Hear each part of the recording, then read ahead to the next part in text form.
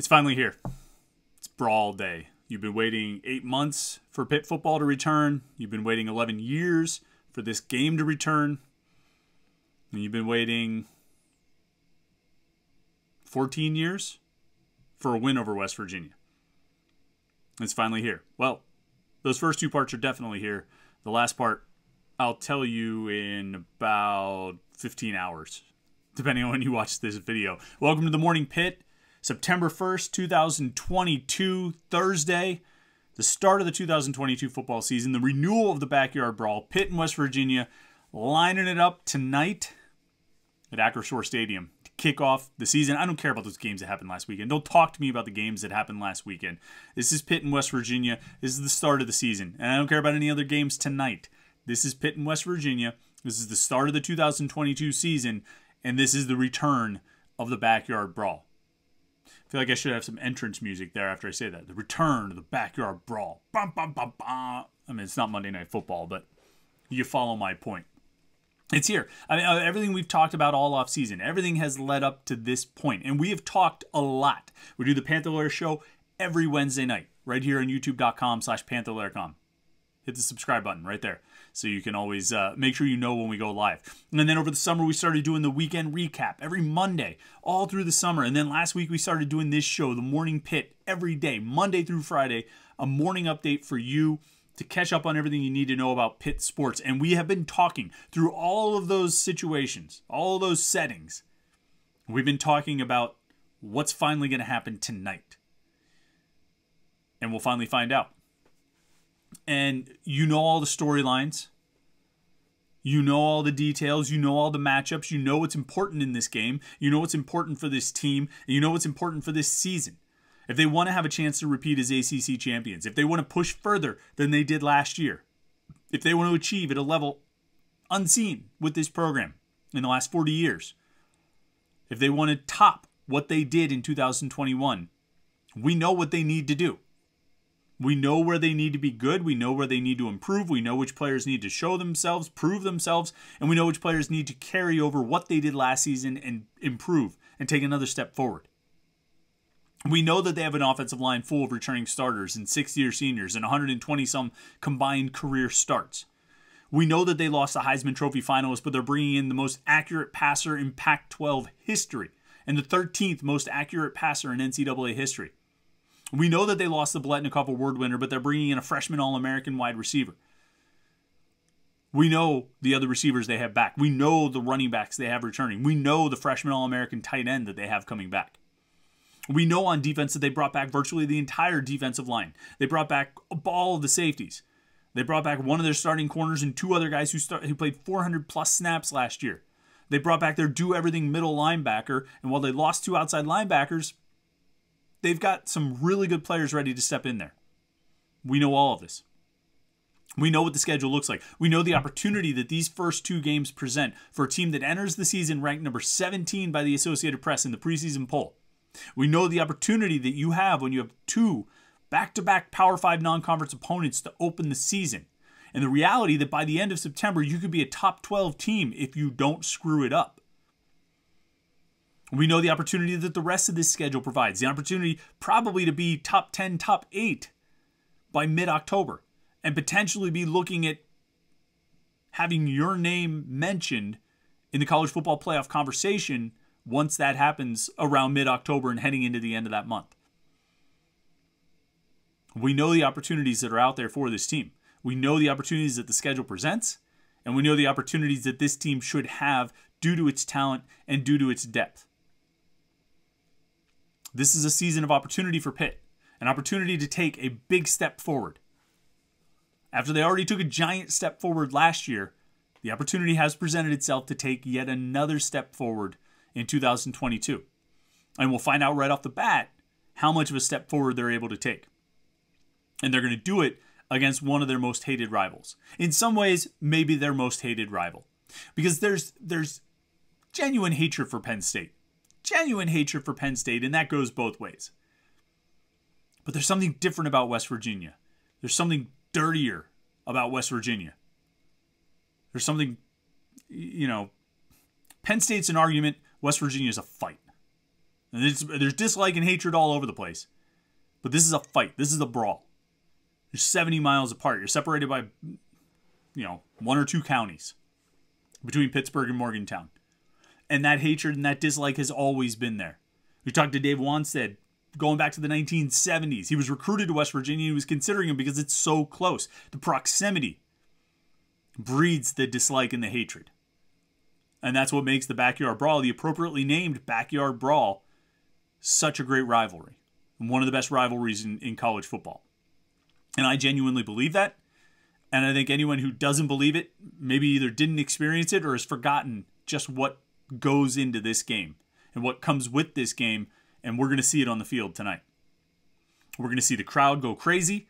And we're going to see the if the players and I said this I said I've said this all week actually if the players don't get it yet I think what we saw out of that bonfire on Tuesday night indicates that just maybe the players do get it but if the players don't get it yet when they run onto the field and that crowd goes wild, when the first big play happens for one side or the other and the crowd goes crazy, they're going to get it. They're going to get it real quick. And I think they're going to find out, kind of like Travasier Dennis said it on Media Day, when they put on that jersey with that Panther head on it, and somebody tells them, you hate that guy, they're going to find out that it was already in them. That dislike was already there. And the West Virginia fans, or the West Virginia players are going to figure it out too.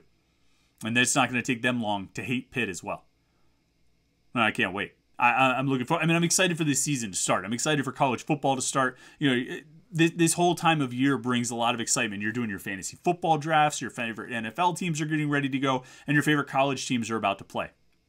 And it starts tonight, and that's awesome. I, am I'm I'm pumped up for this. I'm excited to get back to Acrisure Stadium. I'm excited to keep calling it Acrisure Stadium. I'm excited to sit in Acrisure Stadium. I'm excited to have dinner at Acrisure Stadium. I'm excited to watch this game under the lights in prime time. It's going to be a late night. That's what they make coffee for, right? That's why we take afternoon naps. And don't forget, after this game, not immediately after, but a little while after, we're going to be live right here on youtube.com slash pantherlaircom to talk about what happened in the return of the Backyard Brawl. I keep estimating maybe around 1.30 or so. It's going to be somewhere around there. I don't know. I'll try and tweet out a, a designated time when I think I know one, but it'll depend on when the game ends, when the post-game press conferences end, and when I get enough work done that I can leave the stadium and you know come back to the Panther Lair offices and fire up the live stream machine and start talking. We're gonna drink. We're gonna have a cold one uh, during that one for sure. But if you want to make sure you know when we go live, subscribe to our YouTube channel. Click that subscribe button. You'll uh, get a notification to let you know that we just went live. And it's time to tune in for a little talk about the backyard brawl. And and I, am kind of looking at it as that's going to be tomorrow's morning Pitt, um, just because I don't think I'm going to get home from the game and record an episode of the Morning Pitt. We might as well just go live. And we'll release that, and that'll be your uh, Pitt Sports Talk. And maybe we'll do something else, you know, later in the day or over the weekend or something. We'll, we'll see. Depends on what the situation calls for as far as the game and uh, the outcome and all of that. So keep an eye out for that. We'll be live tonight for a conversation after the game, a post-game show, right here on youtube.com slash pantherlaircom. And of course, panther-lair.com, pittsburgh.rivals.com. It's the most comprehensive source of Pitt sports news on the internet. Football, basketball, recruiting, you find it all at pantherlair.com. And message boards where you can hang out with hundreds and thousands of your closest Pitt fan friends. Panther-lair.com, pittsburgh.rivals.com. It's where you want to be throughout the game. If you're not going to the game, you're watching it on TV, stay tuned to the message boards where you can get in the game thread and talk about the game as it happens. And certainly there'll be a lot to talk about after the game as well. So the message boards are going to be bumping well into the night. So you want to make sure you tune in to that. You know, we talked to Dave Wannstedt yesterday for the morning Pitt. That was a lot of fun. Hopefully, you got a chance to see that. Um, that was a great conversation. You should go watch that now. If you haven't seen it yet, pause this and go watch that video. It's on our YouTube channel, youtube.com slash pantherlaircom. And then come back and watch the rest of this because we have another guest today. Our special guest is the quarterback who won the 13 to 9 game. You've seen him around a lot. He's a color commentator on the Pitt Football Radio broadcasts. He's uh, an assistant or he's in the athletic department for major gifts. I don't want to call him an assistant athletic director if he's actually an associate athletic director. I don't want to call him an associate athletic director if he's actually an executive assistant or executive associate athletic director. They have a lot of titles up in that building, and you don't want to get it wrong. So we'll just say he's Pat Bostick. And I think all Pitt fans know him. They all remember him from that game. And in addition to remembering from remembering him from a football game 15 years ago, I think a lot of Pitt fans have gotten to know Pat because he does a lot with fan outreach and he does a lot with connecting with the fan base. And so he's well known among the fans, but he's also got some history with West Virginia. And he's one of the smartest football guys I know. So I said, Pat, we got to talk to you on the morning Pitt. So I'm beyond delighted to welcome number 19, former Pitt quarterback, current Pitt commentator, Pitt administrator, Pat Bostick. And we're honored to have number 19 himself, Pat Bostick, joining us today. Pat, I really appreciate you uh, coming on the morning Pitt here. And I, I, know this week is probably crazy for you, so I want to jump right into it. We're, we're recording this on Wednesday. We're going to release it on Thursday morning, day of the game, but we're recording it on Wednesday. What's your uh, excitement level like right now? When I talked to Dave Wannstedt, he was saying like on Monday he woke up early in the morning and couldn't go back to sleep because he was thinking about this game. I mean, what's your anticipation level for uh, what's going to happen Thursday night? Yeah, it's um, starting to get up there. I mean, it's starting to feel uh, pretty imminent here, and you know, just the the, the day before game type stuff. Um, you're not used to it necessarily on a Wednesday, but for a game like this, you got people coming into town. You got you know various you know shows and um, you know, all, all, the Twitter activity, obviously the bonfire last night. Um, and there was some, there's some news that came out of that. So um, it's been, it's been what you thought it would be. And uh, my excitement level is uh, right around where it should be. And, and tomorrow, I'm sure it'll just kind of crescendo throughout the day. When, when did you start doing the color commentary on the broadcast, Pat? I was trying to remember this. When do you remember when you started? 2011. So my okay. first year out of school. Okay, so you you got a, a, lot of years here. Over over those years, I mean, what were some of the games you were you remember being the most excited for, or looking forward to the most going into it? I'm sure the ACC championship last year, uh, maybe some of the Penn State games. I mean, what what games stand out to you as being ones that you were really like, man, I can't wait for this? And where does you know this game, this backyard brawl, kind of rank among that group? Yeah, my first year 11, we went down to West Virginia and Morgantown, and I had never been there as a non-player, so I was excited about that. Um, that didn't end very well that game, and I remember my uh, uh, circuitous route down to the locker room from the press box, and there being some bumps and shoves in the process. So um, that one, you know, Notre Dame in 2012, again, first time back as a non-player. Uh, um, just being able to go to campus. And that game obviously was was a very highly contested game, although it wasn't you know anticipated to be that.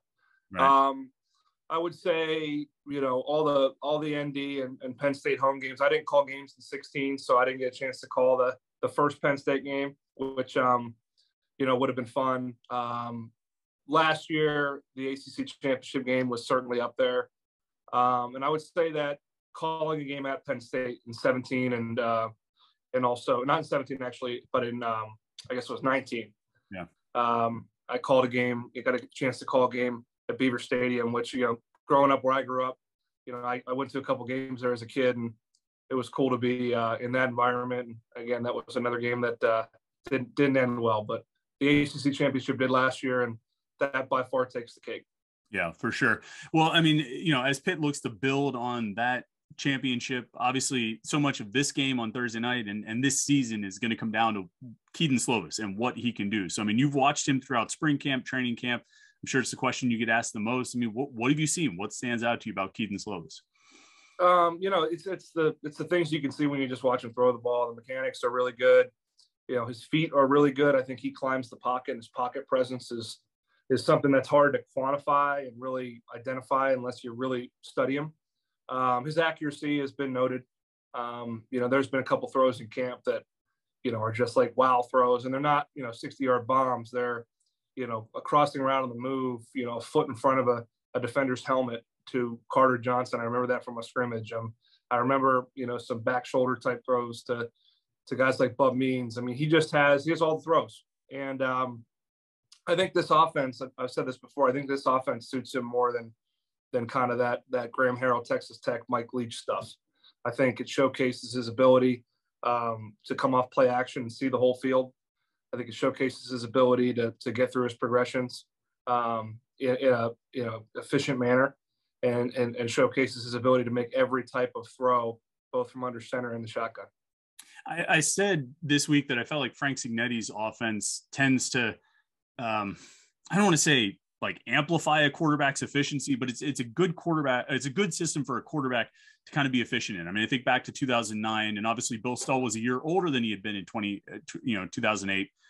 But it, it just he was so much more efficient. I felt a lot of that came down to Frank Cignetti and, and how he designs the offense, how he calls plays, and, and how he teaches it. I mean, would you agree with that? Do you think this is sort of an efficient quarter, not necessarily a safe quarterback's offense, but a, an efficient quarterback's offense in the way that Frank works it? Yeah, I mean, Frank's Frank's philosophy, and and you know, not to to quote him, but it's it's you know, put as much in as possible in spring and fall camp. You know, throw the kitchen sink at everybody, and find out what you're good at, and then pare it down as you get into game plan mode and really identify what the quarterback likes, what they're comfortable with, match it up with what they do well, um, and then call the game according to that, you know, situationally. So, I mean, Kedon's going to have a lot of input into what's on that on that call sheet on on tomorrow night. I mean, I'm sure it's already printed and laminated, but um, he's going to have a lot of input into that. And um, that's what you love as a quarterback is you know not only what the coordinator is going to call, but what they're expecting from you on that play. And I felt like with Billy in 09, um, Frank just did an uncanny job of identifying, you know, his kind of wheelhouse, and then building a multitude of different ways to run those same concepts, so that you know it would Billy could go back there blindfolded, and he knew where you know where his starting point was, what was going to move him off that, and uh, where he had an out. And um, I think Kedon's going to be the same way. I, I think just Kedon has a you know 7,500 yards of tape to go off of too, which makes it you know easier to identify you know what he does well and what he maybe doesn't do as well. So much talk this this offseason about losing Jordan Addison and what it means to the playmakers or, or you know the skill position players, but I, I, don't know. I feel like everything I've seen and everything I've heard is it's all been pretty positive. I mean, I know Pat Narduzzi said on Monday that the receivers give him chest pains, but it seems pretty positive. Konata Mumpfield and Bub Means. You mentioned Carter Johnson. We know Gavin Bartholomew. I, what have been your impressions of, of the skill group for this offense uh, for what you've seen in, in camp? Yeah, it's probably not you know the the deepest group. You know, I think they like to have one or two more probably, but um, you know, there's guys that have made a lot of plays in a Pitt uniform that are that probably have gone a little bit under underreported on because of their consistency. I specifically Jared Wayne. I mean, Jared's a guy that like you know I said it the other day. I, I feel like if you put Mike Shanahan and Devin Street together, you'd have Jared Wayne. Hmm. Um, that's kind of what it reminds me of. He, he's just he's a great possession receiver. He's consistent across the middle. He can take a hit. He's dependable, but he's also made a lot of big plays in his career down the field. Think about the catch against Miami and some of the plays he's made in the ACC championship game. Um, and then guys, you know, Jalen Barden. Jalen Barden's made a lot of plays. And then you mix in Konata Mumpfield, Bub Means. You, you mix in obviously Gavin, a freshman All-American, and Carter Johnson. There's there's a full complement of guys that join those four tailbacks that are back there that I think Frank can deploy this offense in a number of different ways. And I, I think when you, you know, when we get a couple games into this year, the, the formational and and uh, personnel group breakdown will be a much more variable than it was a year ago. Right. You know, looking at the West Virginia side, I mean, what, what do you make of JT Daniels? I'm sure you've been trying to watch tape and trying to catch up to have some you know sort of foundation of information on. I mean, what what have you learned about about him? What do you expect to see out of him uh, on Thursday night? Yeah, I expect them to throw it a lot. Obviously, I think schematically you would you would expect that from a Graham Harrell offense. Um, you know, you know he can really Daniels can really throw it. I mean, he's he's a pure passer. He's a pocket guy. He's not going to move outside of it. I'd imagine the RPO is is uh, running back run and, and quarterback pass. It's not going to be a, a, whole heck of a lot of quarterback run. I, I don't foresee. Um, and they've got some big perimeter players. So, you know, it wouldn't shock me to see, you know, some of the game plans you've seen in the past, you know, getting the perimeter, getting the flat early, you know, try to try to slow that defensive line down with some screens and and uh, and draw type runs and and then take your shots with, you know, with kind of intermediate fades. You know, they've got some guys that are six three, six four, and you know that's that's a throw that's given to you in this defense. Um, it'll be interesting to see you know, how Marquis Williams and, and AJ Woods and Devonshire and Battle and all those guys match up out there. And, you know, if West Virginia is used to seeing the press that Pitt has and how, uh, if at all, that that disrupts their timing and rhythm. And because again, I mean, it, it's a, a fade's a it's it's a throw that's given to you, but it's also a low percentage throw. Um, one of the reasons that Pat Narduzzi, you know, always says we'll, we'll, give them that, but if they hit it, it becomes problematic. Right, right. I, you know, I think Pitt's offensive line. We've talked about it as a strength so much, but West Virginia's got some players on the D line. I mean, do you, you know, is this going to be a situation where maybe on both sides for both teams the defense starts a little faster, just because you know, even if the O lines both have a lot of returning players you know, it's first game, just kind of getting used to everything. You know, could you see the, you know, both sides defenses maybe controlling the line of scrimmage at least early in the game? Yeah, I, I think, you know, there'd be a feeling out process as all as there always is at an opener.